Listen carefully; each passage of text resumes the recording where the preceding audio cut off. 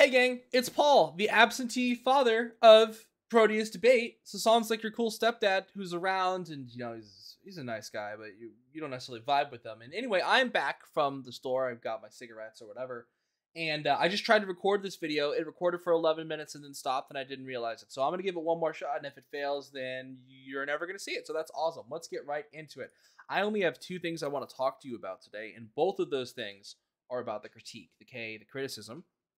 And I find in my experience with competitors, as a coach and as a competitor myself, that a lot of people find the K a difficult concept to understand. And there's a lot of reasons for that. In no small part, the fact that a lot of debaters are talking really fast and doing their very best to obfuscate and kind of doing a landmine debate rather than actually developing arguments. But I think that your ability to answer the K is drastically limited by your viewpoint on what the K is and how it functions. And my hope today is through the two things I'm going to tell you, you'll be better prepared to answer the K. I have two disclaimers. The first thing I want to say is that I by no means was like a K debater, for lack of a better term. I read the K a lot, senior and junior year. I won those rounds a lot. I answered the K a lot. I won even more of those rounds. And so I'm approaching this from the perspective of answering the K, not writing the K. I'll do that video later. But to be clear, if there's K debaters who disagree with me, that's awesome. This is what has worked in my experience. If you think I'm wrong, then don't do it. I don't care. Secondly, this is intended to be very basic level. This is not intended to be an incredibly technical or difficult video for any person to understand. My hope is to help individuals who've struggled with the K, have never heard of the K, but who are somewhat familiar with debate. And so, if you don't think this is comprehensive, you think it's wrong, again, you can leave. I don't care. And yeah, enjoy. Two things I want to talk to you about. The first thing is something that uh, a great debate mind said to me one time, which was my first year as a graduate student when I was coaching for the University of the Pacific. I was at the NPDA, the National Parliamentary Debate Association National Championship Tournament, and I was hanging out with some folks from Texas Tech. And at that time, one of the coaches at Texas Tech was a dude named Joe Provencher, Joe Pro, people call him, who I have all the time in the world for when it comes to debate ideas.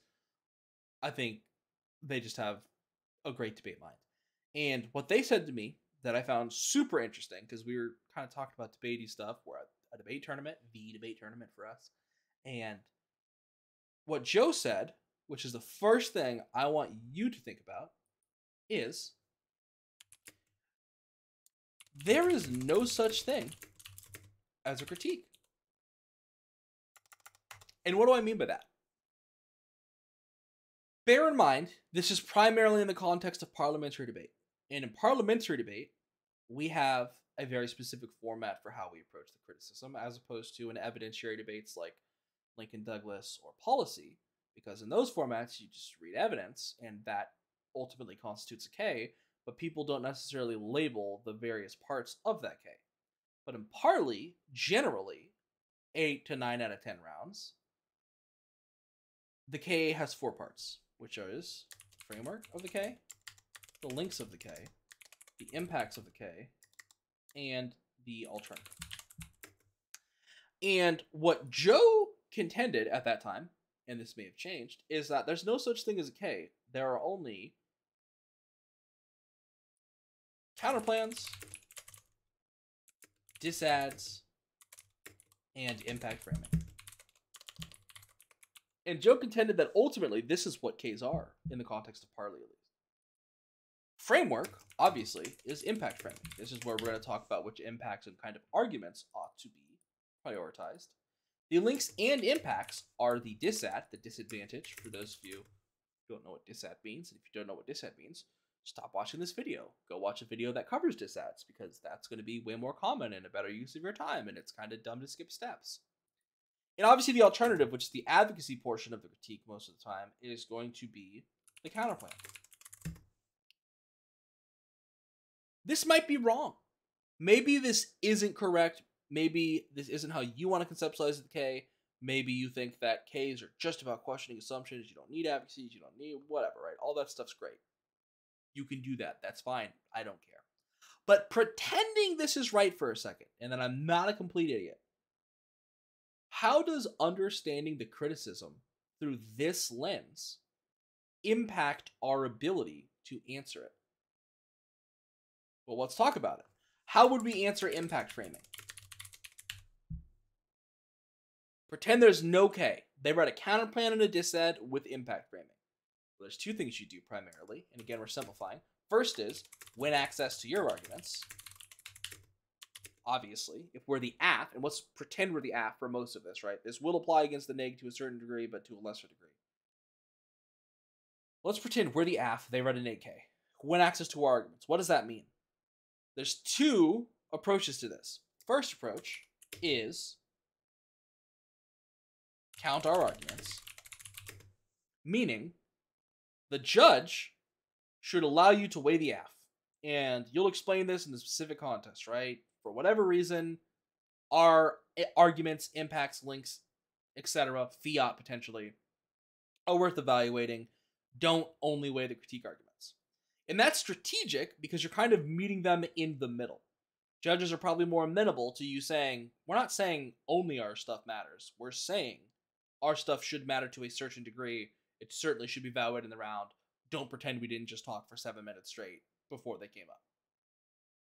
Now, alternatively, you could say only count our arguments.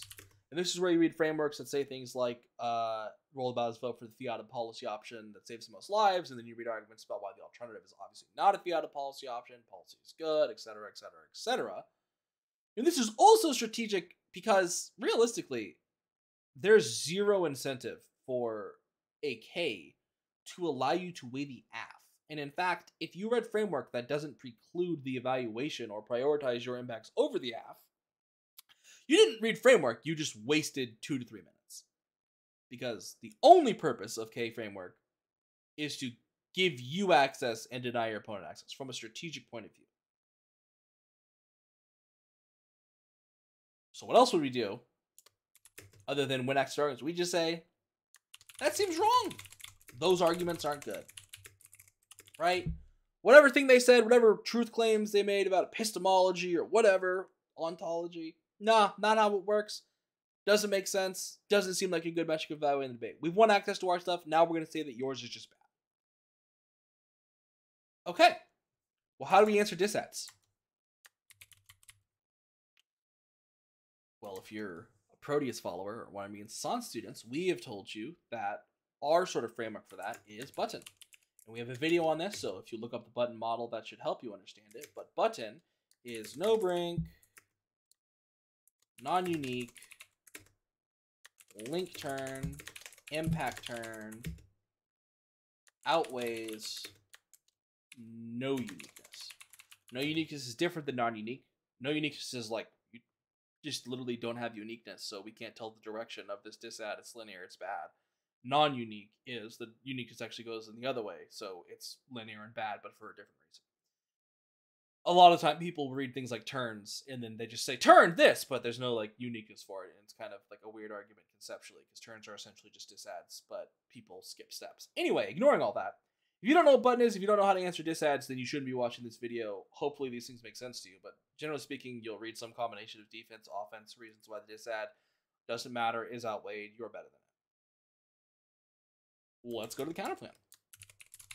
In terms of the counter plan, there's sort of a more rigid approach, I suppose. And if I was telling someone, I would kind of go in this order. I would say read a permutation, and a permutation is perm text and justification. So here's our text. We can do both, do now, delay, whatever kind of permutation you're reading, etc. But then you also need to read a reason why that permutation is legitimate, because almost certainly the K block or the counterplan block had reasons why it's not, and you need to answer that. Second thing we need to do in that instance, uh, it didn't do a B for me, which makes me sad. So let's hope it does it now. B, it didn't. Whatever. We're gonna keep moving. Uh, uh, the B sub point is net benefit to the permutation. This doesn't make sense. The way people tend to do it in parliamentary debate, they read net benefits like juxtaposition or synthesis or whatever. I was certainly guilty of this in my time, but that's like operating on a different level You've it's no longer about the plan text. How can the rather let me put it this way. This is an Adam Testerman thing he said to me. Uh senior year finals, Steve Hunt Classic, where we lost. Anywho, Adam Testerman was like, I don't think it makes any sense to read net benefits of the permutation other than the AF. The only benefit for a permutation is the AF because anything else is intrinsic, which means you've added something that wasn't there previously, which is probably not good for debate. But ignoring that, for some reason, judges are still really into having net benefits of the permutation, so you should probably read one. The C point, it, oh, this is good. I love this. Anyway, pretend the formatting isn't terrible. I apologize. Uh, the C point is AF is a disad to the alt. And the way you explain this is if the AF solves the AF, and if the K doesn't solve the AF, the impacts of the AF are disad to the K. Then you say K doesn't solve, AF or K impacts. Then you say AF alone is preferable.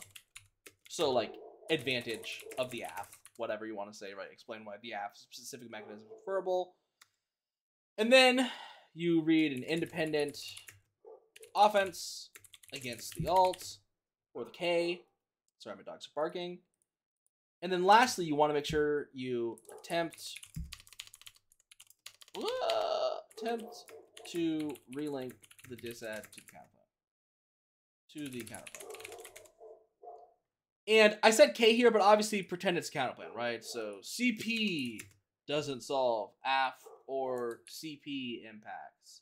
Independent offense against the CP, right? The counterplan. Why is this a useful framework? Why is this a good idea?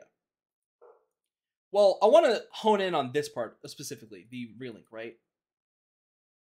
In counterplan disad debate, it's always strategic to try and link the disad to the counterplan because in an unconditional counterplan disad debate, the debate is only about the disad. If you win the disad, you win the debate. In a conditional counterplan disad debate, it's still a really good idea because it's going to give you credence on things like condo theory should you read them because it looks bad if they were like contradictory, if they link to their own position and you still had to answer it and things of that nature. So there's no real disad to you trying to relink them. It's especially true in the case of the criticism, I think, because a lot of criticisms in their framework or in their sort of ethic or thesis are about language, performance, and approach to debate. And obviously, if their language, performance, and approach relink, that looks bad. You could make murder versus manslaughter analysis about how relinks to your own K are worse than links to the app, things like that. Very basic. But you know how to answer impact framing slash calculus, a disad, and a counterplan. So you should primarily know how to answer the criticism because that's essentially all it is. I want to note here what is the relationship between a counterplan and a disad a lot of the time in counterplan disad debate?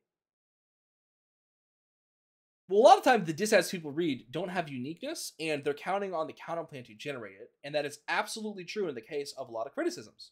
Let's take cap for a second. You know, this is not a good cap K, but just for the sake of explanation, they say the AF's capitalist. The AF says, aren't there 800 million other things that are capitalist in the status quo and that will happen post plan? The neg says, oh yeah, I guess you're right. And the AF says, well, I guess we win. And then they do. If they don't have an alternative. But if they have an alternative, which is their counterplan essentially, they get to sort of fiat uniqueness for how they would resolve the status quo capitalist issues and future capitalist issues. And so there's a relationship here that you need to understand. What's the second thing I want to talk about? We can make everything even more simple because really there's only three kinds of arguments I think you need to know to answer the K and to answer most stuff, which is nuh-uh, it's the opposite. Mm, that's the wrong it's. I'm going to fix just this one. Every other one you're dealing with from now on. It's the opposite and actually dot dot dot, as I like to call it. And what do each of these mean? Well, nuh-uh is no, you're wrong. It's the opposite is the AF is in the other direction. And actually is essentially your impact turn where you say, actually, that is a good slash bad thing. Let's go through this. Nuh-uh. On K arguments. They say epistemology comes first. Nuh-uh. You're wrong. Doesn't make any sense. Literally makes no sense to try and prioritize epistemology or ontology. They clearly work together. That's not where that concept comes from or not what that concept means. Also, your explanation of epistemology doesn't make sense. Also, you don't know what our epistemology is. Things of that nature. Nuh-uh. You're wrong. It's the opposite. Absent the other direction. You said we're capitalist. We're definitely not. We hate capitalism. Think it's super bad. Super down for the rev. In fact, the AF's the best thing to get us to the rev sooner. Creates the material conditions for it. Uses the resources of the state against them. There have been socialist revolutions involving the state before. Blah blah blah blah blah blah blah. And then lastly, actually, that's a good bad thing. In the context of cap, actually cap's pretty dope. Here's why. You know, green tech, whatever people say, pharmaceuticals, I suppose. Those three things, those three approaches, in simplifying it in that way, rather than trying to think, what's the link turn for this, what's that, just make the debate so much more simple. Nuh-uh, they're wrong. It's the opposite. That's not what the app is. Actually, actually, your thing is good or bad. We disagree fundamentally on the premise. I want to make a note on this last one about actually. Obviously, if they read like an anti-blackness K, it probably would behoove you to not impact turn anti-blackness or racism and say it's a good thing, because that would be stupid. And arguments that are true tend to be good, and arguments that are objectively bad or morally reprehensible tend to not do that good unless you have the kind of judge who purely evaluates on the flow. Uh, and those judges are dumb and shouldn't do that because that's how bad things happen. Anyway, that's kind of my soapbox for now. That's just what I want to talk about. I think that it's very easy when you first start learning about the K to mystify it and treat it like it's something that it's not and it's something special. But in the context of Parli, where there's not evidence and all this stuff, and frankly, there's not enough time for people to prepare for everything, you need to have a framework for how you approach answering it. And this is as simple as I think I can really make it for you. If this was policy debate, there's disclosure. You could look up the teams that you think you might debate that are in your kind of bracket, for lack of a better word, and then find out what they read, do the research and all that stuff. But in Parli, given that we find out the topic 20 to 30 minutes ahead of time, from the perspective of like, I don't even know, like it's the prisoner's dilemma or something, it just doesn't make sense from like a game theory perspective to do it. Because if they do defend the topic and you were not prepared for it, like you just prepped against their KF, you're gonna lose and you're gonna look dumb because you didn't prepare for the topic if they do prepare their K, they're still going to be more in their wheelhouse than you, but like you're just guessing at that point, right? Like you can ask other people what they read, but there's no actual case talk for you to understand the specifics. You go to your friend, you're like, what did they read? And they said, oh, the death bad K or death good K. And you're like, oh, awesome. That definitely gives me all the information I need to know how to answer that. Certainly not the case. And lastly, even if they were going to read a K, there's no guarantee they'll read the K you thought they were going to read.